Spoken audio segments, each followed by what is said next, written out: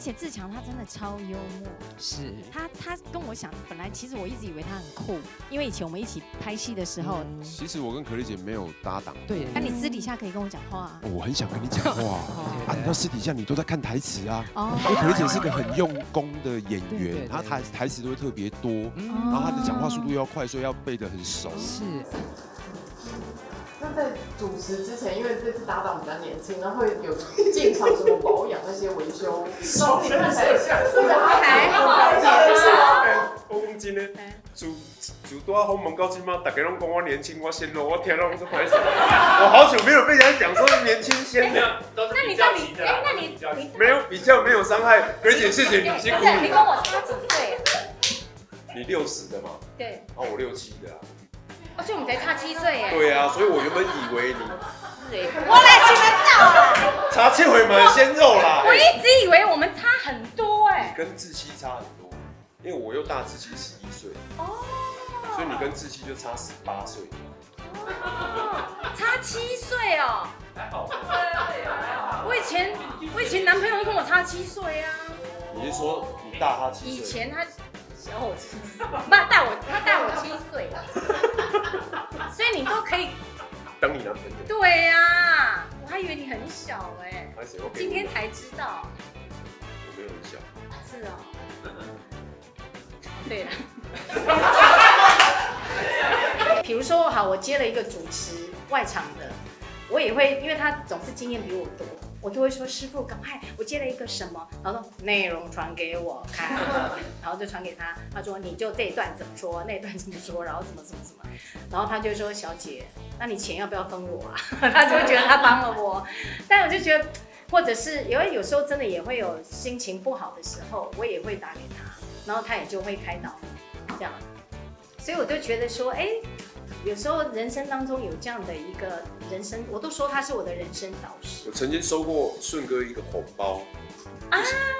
他他都会用他的，他因为他字很漂亮，对很有特他自己的特色，他就写一段祝福的话，很像画符啊，对不对，对？然后就里面就包包个一千块，就假的一千呐、真的真的真的，他给你真的，他给我的是假的，真的，哦，好吧，好吧？你不要说我是，看吗？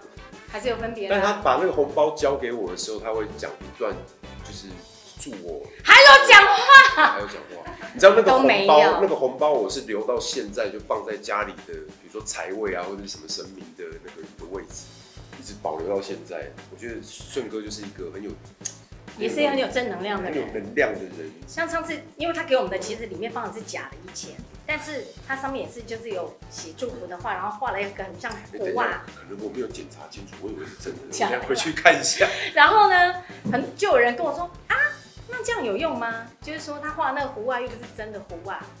我说以以意念来说，他给你们的祝福，这个能量已经在了，所以这个东西它就是存在的。所以我一样，我把它放在我的跟我的神明放在一起，嗯，我就不会把它放在一个很主要的位置。对对对。对，哦，靠旁边底下吧。安全帽扣要扣好哦，扣好就好，好吗？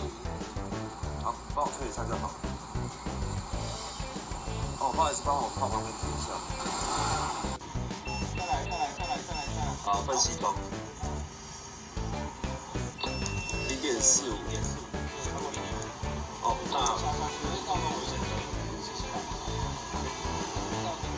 陈先生，你涉嫌公共危险，所以。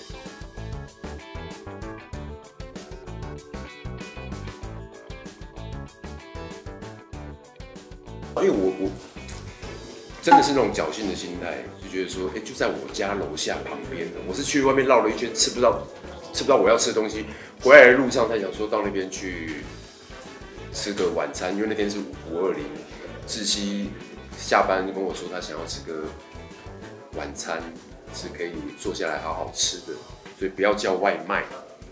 所以我去绕了一圈，结果十点多已经都打烊了。回来刚好经过那家楼下的店，然后那我们就来吃个炒乌龙吧，就去搞一个大乌龙。所以点餐很重要啊。走路三分钟到家，骑车一分钟，就真的就忘了这件事情，太侥幸了。